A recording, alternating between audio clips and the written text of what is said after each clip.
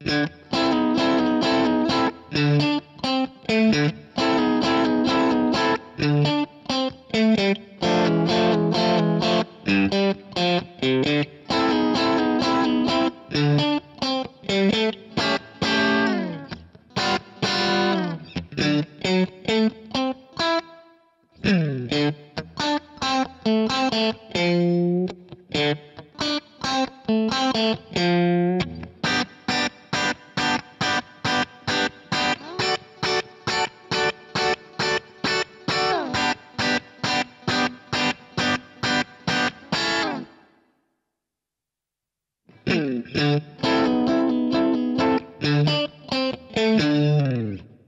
Hey, how you doing? Justin here. Today we are checking out I Feel Good by James Brown.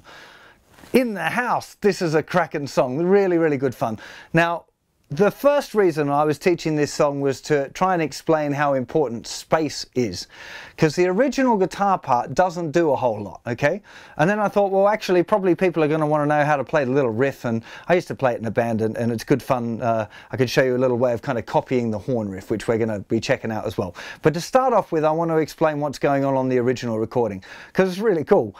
So the guitar part on the original recording is very sparse, just two notes and not even played very often, but it's actually perfect for the song and it's important to realise, particularly in a big band where you've got a horn section and stuff, you don't want to be playing all the time because you're just going to get in the way. So the original recording, all of this is kind of copying the bass line and the horn section. The guitar goes, I feel good, two, three, four, one, three, four, one, two, three, four, one, two, three, four, one, two, three, four, one, two, three, four, one, two, three, four, one, two, three, four, one, two, three, four, two, three, four, one. I'm not even sure about that arpeggio at the end. I'm giving it the benefit of the doubt and I think it's in there. But literally, that's it. Okay, one more time. So it's going from the beginning. Two, three, four. One, two, three, four. One, two, three, four. One, two, three, four. One, two, three, four. One, two, three, four. One, two, three, four. One, two, three, four. One, two, three, four. One, two, three, four. One, two, three, four. One, two, three, and and one. Let's go through that one bar at a time. So the first bar, there's nothing. The second bar, we've got the 10th fret thinnest two strings on beat two. So one, two, three, four. The third bar, there's nothing. In the fourth bar, we've got the same thing. One, two, three, four. And that's it. Nice, short, sharp little chord. In bar five, we've got nothing. In bar six, we've got the third fret thinnest two strings. One, two, three, four. And then in the sixth bar, we got nothing. In the seventh bar, we've got our 10th fret on the uh, thinnest two strings again. One, two, three, four. Okay, last four bars, we've got an A7 happening on beats two and three. It's a very small grip of an A7 as well. We don't want any big chunky bar chord stuff here. This is just the uh, seventh fret on the fourth string, sixth fret on the third string, and eighth fret on the second string. I'm using second finger, first finger, fourth finger there. Okay, it's a nice way of kind of you can see I can strum all of the strings because thumb can mute the thicker string, tip of second finger can mute the fifth string, little finger underneath can mute the thinner string. So just got those three notes ringing out, but I can strum all of the chords, okay? So, or, or all of the strings rather. Um, so it's doing that A7 chord on just on beats two and three. So one, two, three, four. Then it moves it down two frets to the G, same rhythm pattern. One, two, three, four okay? And then we've got this little D9 arpeggio, which is going to be the 10th fret of the thicker string, 9th fret of the 5th string, and then to the 12th fret, then 10th fret of the 4th string, 9th fret of the 3rd string on the offbeat. So 1 and 2 and 3 and 4 and 1 and 2, 3, 4. That's 10th fret on the thicker string, onto the 5th string, 9th fret, 12th fret, then 10th fret on the 4th string, 9th fret on the 3rd string. So let me take that verse sequence right the way through now, now that you know what the chords are being played and where the notes are. So one, two, three, four, one, two, three, four, one, two, three, four, one, two, three, four, one, two, three, four, one, two, three, four, one, two, three, four, one, two, three, four, one, two, three, four, one, two, three, four, one, two, three, four, one, and two, and three, and four, and one, and two, three, four. Okay, that's the verses all of the way through. What's played on the record? Have a listen to it. It's a really big deal to, to, understand the importance of space, and sometimes just not playing is better than trying to play all the time. In the B section, uh, there's a saxophone line doing this. Just a lovely line on guitar anyway, so uh, I'll show, let me show you that. It's uh, fifth fret on the fifth string, then seventh fret on the third string, fifth fret, then 7th fret on the 4th string, back to the 5th fret on the 3rd string, back to 7th fret on the 4th string, and then a little kind of a curl on the 8th fret of the 5th string. So 3, 4, 1, 2, and 3, and 4, and 1, and 2, and 3, 4, 1, 2, and 3, and 4, and 1, and 2, and 3, 4, 1, 2, and 3, and 4, and 1, and 2, and 3, 4, one, two, and three, and four, and one, and two, and three, four. Okay? Picking doesn't really matter, whatever you feel comfortable, you're, you're copying a saxophone line, so there's not really a specific fingering for that little part. Um, then the guitar goes into playing fours, nice tight fours. So uh, we're just playing now on the G chord, fourth fret, third fret, third fret on the thinnest three strings, and we're going to be doing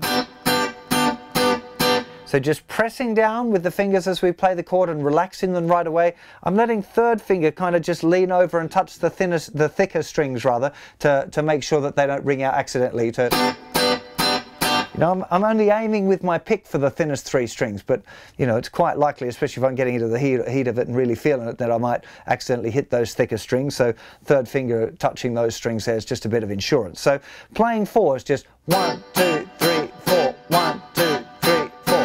so it's two bars and then up to the D, which is the 10th fret. So 11, 10, 10. Same thing again. One, two, three, four. One, two, three, four. Back to G for two bars. Then A. One, two, three, four, two, two, three, four. And then we're back into the verse again. Okay, so that A chord is just the same as the G moved up two frets. Okay. Nothing difficult going on there at all, okay? So let's have a little chat now about introducing this other idea of, of mixing up in the, uh, mixing the bass line in as well with the chords. Uh, that might be easier in a close-up, so let's do that.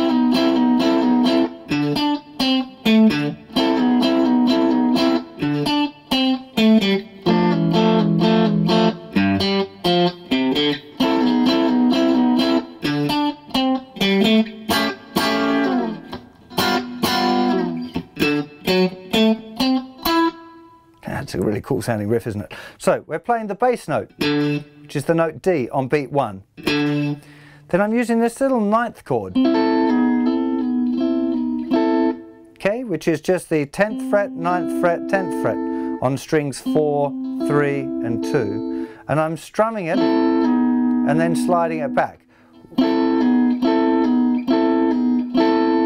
Okay, 1, 2 and 3 and 4 and 1. Okay, then we've got this little bass line. 10th fret on the thicker string, 12th fret on the 4th string, 10th fret, 12th fret on the 5th string, and then we're back.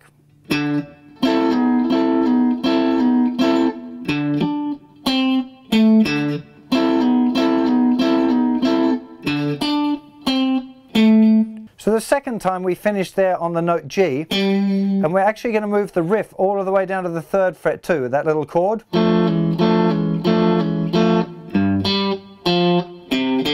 But we've got to change the ending of it again to get back onto our D note. So third fret, fifth fret, finishing on the note D because the rest of the band's moved to a D chord. Okay? And then we'd have that riff again. Okay, and this time when we go back to the D, we've got that riff again going the 10th fret to 12th fret, because this time we want to finish on the A note. Let me do it once through, nice and slowly, so you can see all of that. So here's the riff. Bass. Finishing on D. Finishing on G now. There. 5, back to D,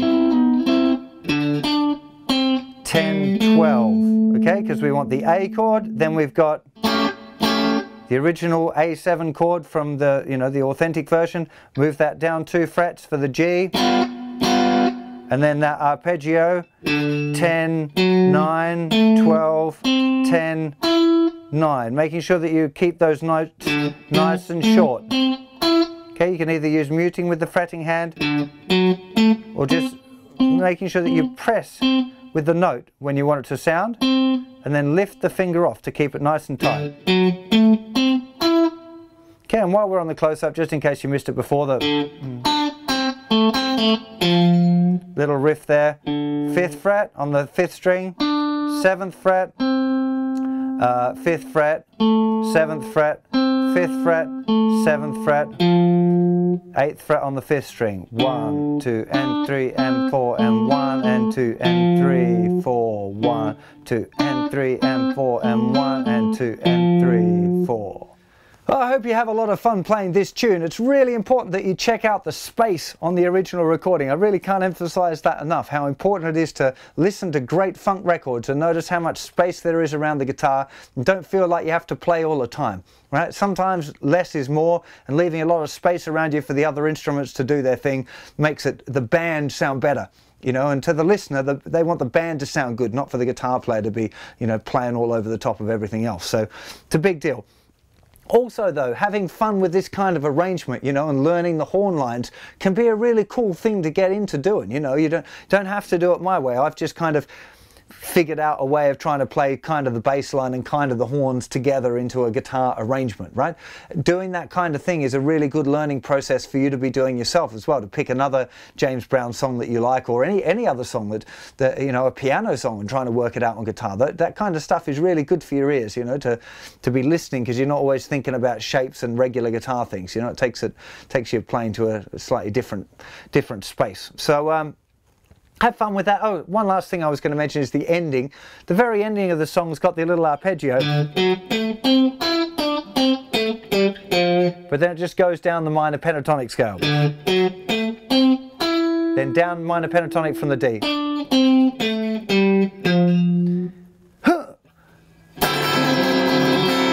and then a D9 chord there to, to finish off with a little what they call a scramble where you just strum the chord as fast as you can. So that's the very ending of that song and I think that's about as comprehensive look as uh, I feel good as you could possibly want for, for your guitar playing. Remember, of course, all of this funk stuff, the really big deal is locking into the groove. So make sure that when you're playing and when you're practicing along that you're really trying to, to play at exactly the same time as the other instruments. And, you know, playing along with this, even just getting that single, single, single, simple strum there on, on uh, beat two, you know, just a little chip there. That's a, that's a pretty big deal, you know, to make sure that you get, if you're doing something that simple, you've got to get it exactly right. So when you're practicing along and playing along, make sure that you can get. Ching, three, four, one, two, three, four. Ching, you know, really listen to the rest of the band so that you're playing it at exactly the same time as anyone else in the band is playing on that note, okay? Re really, really big deal. So I really hope you dig playing this tune. Please subscribe if you like what I do and check out the website for lots more information, help on this song and funk techniques. Generally, there's loads of information there. So I'll see you for plenty more very soon. Take care of yourselves. Bye-bye.